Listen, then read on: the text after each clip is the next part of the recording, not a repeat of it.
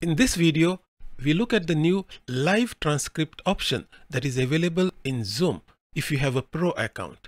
This option allows you to create closed captions automatically at the bottom of your screen as you can see. Let's get started.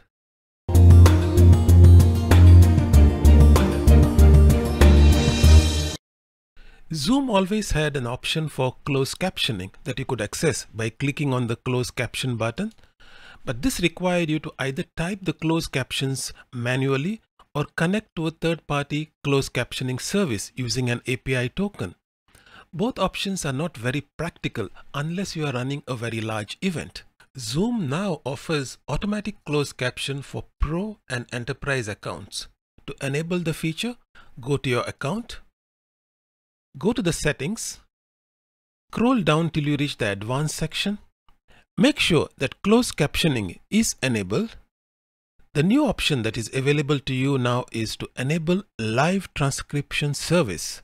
Click on it and click the save button. When you start a new meeting in Zoom, you will notice that the closed caption button is now automatically renamed as live transcript. Click on it. Third option is now available.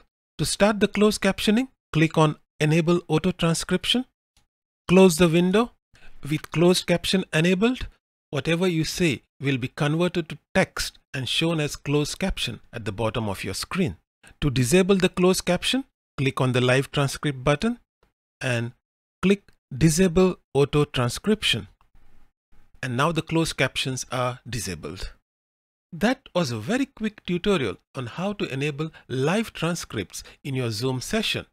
I hope you found this video useful.